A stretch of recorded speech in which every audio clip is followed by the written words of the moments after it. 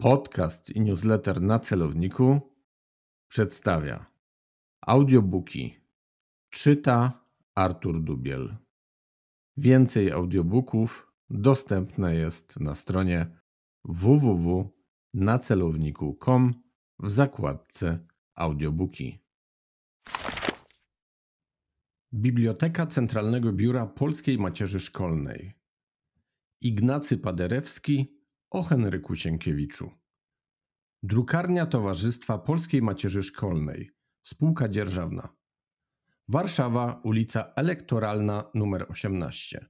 Telefon numer 292 94. Warszawa 1932. Macierz nie dosyć założyć. Trzeba ją umocnić. Trzeba ją oprzeć na niewzruszonej podstawie. Trzeba jej rozwiązać ręce i dać jej siłę. Na takim gmachu, z większą niż na każdym innym słusznością, można położyć napis Naród sobie. Henryk Sienkiewicz, Pisma, tom 35.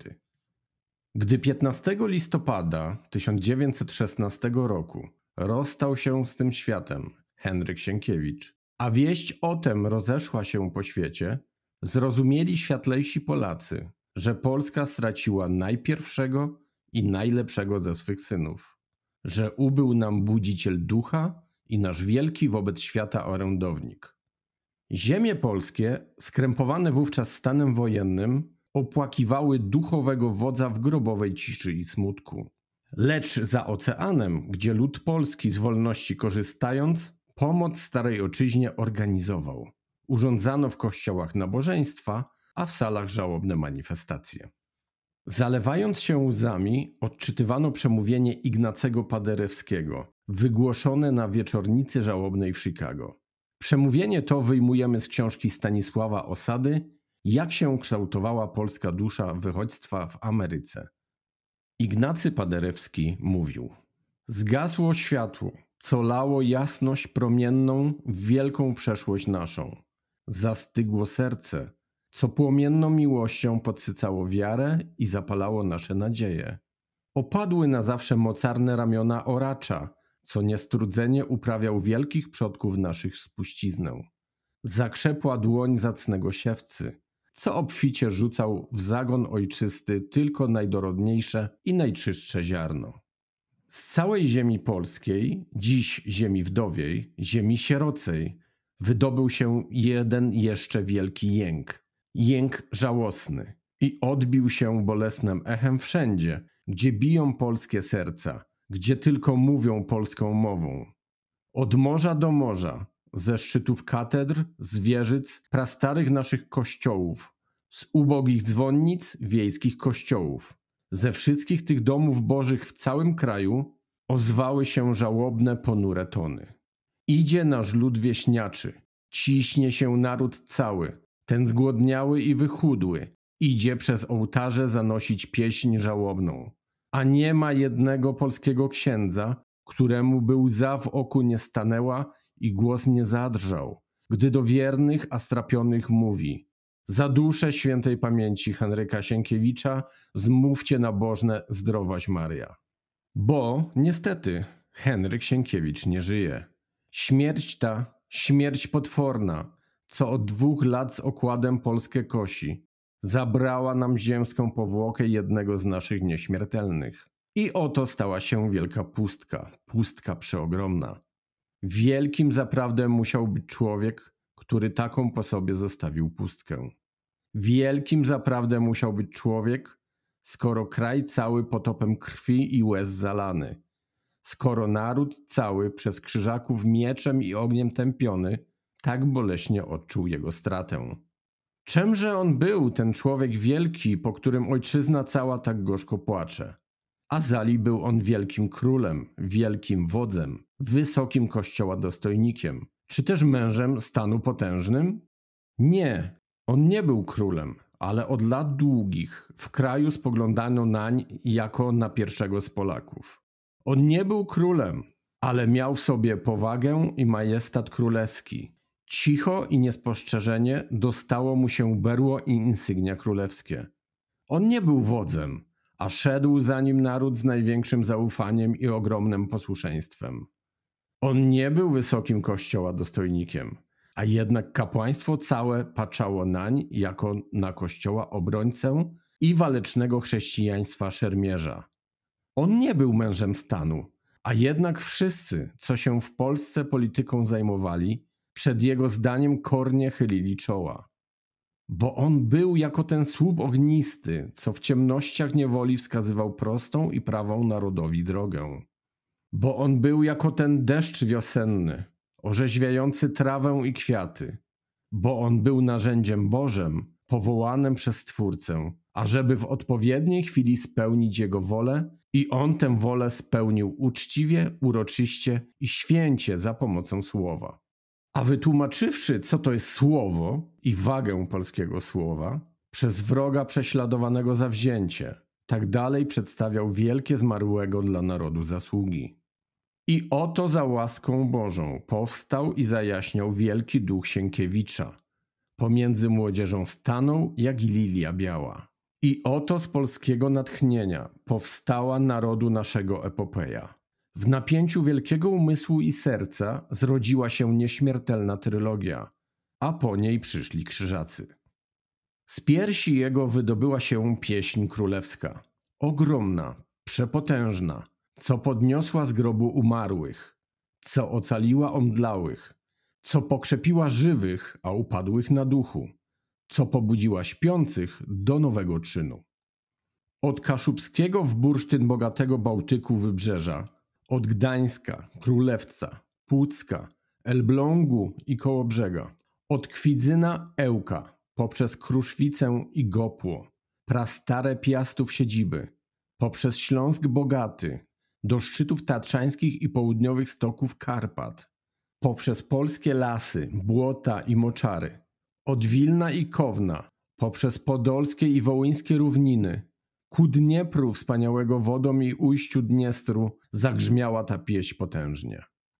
I oto stała się jasność wielka, bo pokrzepiło się serce polskie, bo uzdrowiła się dusza polska, bo młodzież wróciła pod sztandar narodu, bo objawiła się jedność polska. Za ten ratunek w potrzebie, za to serc pokrzepienie, za to dusz uzdrowienie, cześć mu i chwała.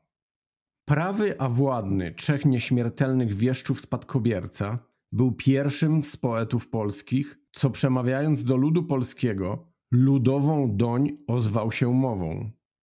Tamci żyli poza krajem, na obczyźnie, nie żyli z ludem, oni przeczuwali go tylko. Tamci pisali wierszem, przemawiali z wieżyc niebotycznych do gór, pagórków, do drzew wierzchołków. Sienkiewicz mieszkał w kraju. Sienkiewicz żył i przebywał z ludem. Znał całe bogactwo jego pięknej duszy. On przemawiał prozą. Jego słowo szło wszędzie. On sięgał najwyższych szczytów, ale także i dolin, łąk i gajów.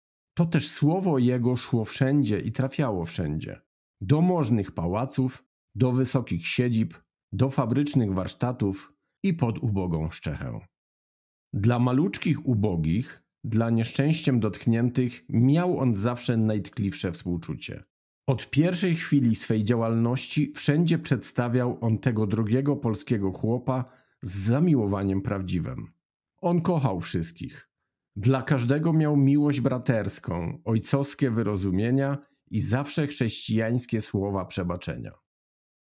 Henryk Sienkiewicz urodził się w roku rzezi galicyjskiej, a więc pośród krwi potopu. Umarł podczas największego w dziejach świata krwi rozlewu. Umarł na tej samej wolnej ziemi, na której przed 99 laty Tadeusz Kościuszko dokonał przesławnego żywota. Wojna, troska i ból nad losami narodu, ból serdeczny zmógł jego wątłe siły. Zapowiedź nowych ofiar, zapowiedź nowych nieszczęść i klęsk przyspieszyła niewątpliwie jego zgon. Oczy jego dojrzały tego sławnego Bartka zwycięzcę, któremu kazano grać jeszcze nie zginęła, aby go wyrzucić następnie z siedzib własnych. Oczy Henryka Sienkiewicza ujrzały setki tysięcy takich Bartków, których pognają, by ginęli bezsławnie za obcą sprawę, by ich taka sama spotkała zapłata i te piękne oczy zamknęły się na zawsze. Umarł jak żył, karmiąc łaknących. Przez lat blisko pięćdziesiąt żywił on naród swem słowem. Przez ostatnie dwa lata chlebem polskim, od was głównie przesyłanym. Karmił wdowy i sieroty. Za to narodu żywicielstwo, za to wdów i sierot karmienie, cześć mu i chwała i wdzięczność nieskończona przyszłych pokoleń.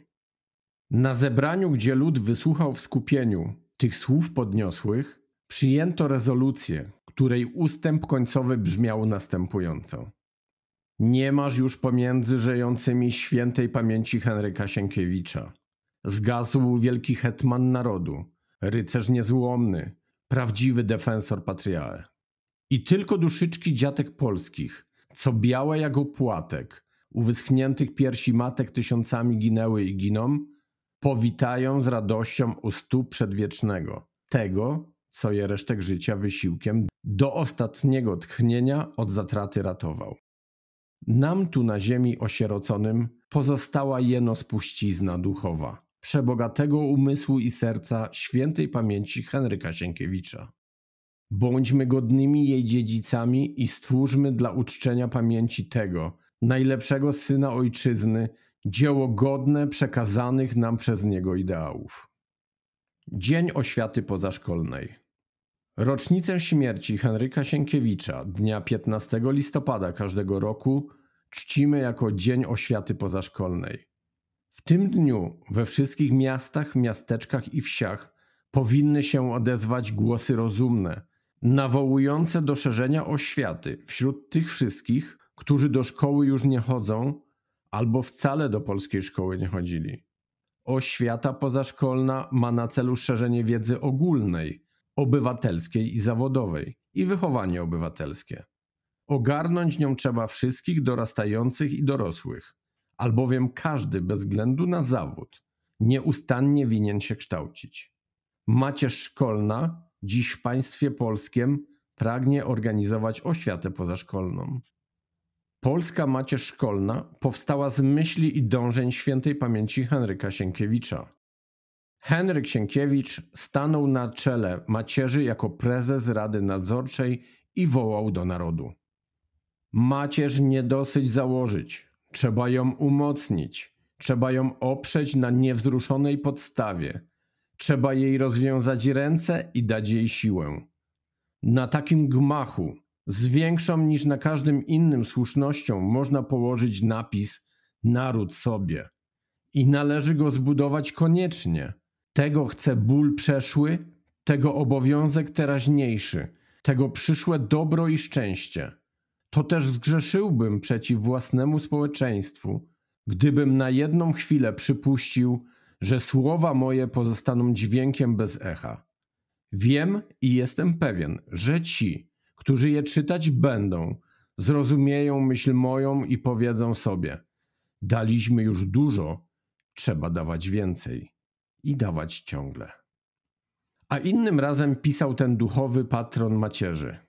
Zrozumiał cały naród, że gdyby macierz zdołała objąć te obszerne dziedziny, które zamierza zagarnąć, gdyby stanąwszy na silnej podstawie, mogła i potrafiła spełnić podjęte zadania, to w ciągu lat kilkunastu wyrosłyby oświecone, moralne i szlachetne pokolenia, zlane w jeden wielki, oświecony, moralny, szlachetny i patriotyczny naród. A wówczas, bez względu na wszelkie burze zewnętrzne, moglibyśmy spokojnie patrzeć w przyszłość. Ale macierz to dziecko samopomocy społecznej i od nas tylko zależy, aby dziecko wyrosło w olbrzyma. Skończyła się niewola. Naród godziny przebudzenia nie przespał. Nie doczekał jednak tej chwili Henryk Sienkiewicz. Uczynił wiele. Zbudził naród polski z przygnębienia, Wskazał drogę do potęgi przez miłość ojczyzny, poświęcenie i oświatę. Tą drogą musimy pójść dalej. Odzyskaliśmy państwo własne. Mamy polski Sejm, polski rząd, polskie wojsko, administrację, sądy, szkolnictwo itd. Tak Lecz jakże często narzekamy, że jest źle, że inaczej tę Polskę widzieliśmy w marzeniach i oczekiwaniach. Wojna uczyła nienawiści, chciwości, zazdrości i rozboju. To też zbieramy tego posiewu owoce. Źle jest w innych państwach, tylko nie u nas. Ale u nas może być lepiej, bo w duszach polskich zdrowe pozostało ziarno i ono plon dobry wydać powinno. Trzeba pomóc temu dobremu ziarnu zakiełkować. Trzeba ogrzać glebę polską światłem kultury, oświaty i nauki. Trzeba nieustannie budzić ducha w narodzie, oświecać i uszlachetniać. Testament Sienkiewicza wykonywać. Zakładajcie ośrodki pracy polskiej macierzy szkolnej. Mobilizujcie oświatowe pospolite ruszenie. Po wskazówki należy zwracać się do Zarządu Głównego Polskiej Macierzy Szkolnej Warszawa, ulica Krakowskie Przedmieście 7, mieszkania 4 lub do zarządów wojewódzkich, okręgowych i kół macierzy w miejscowościach, w których takie zarządy działają i prowadzą pracę oświatową pozaszkolną. Składano i odbijano w drukarni Polskiej Macierzy Szkolnej. Warszawa, elektoralna 18. Podcast i newsletter na celowniku przedstawia audiobooki. Czyta Artur Dubiel. Więcej audiobooków dostępne jest na stronie www.nacelowniku.com w zakładce audiobooki.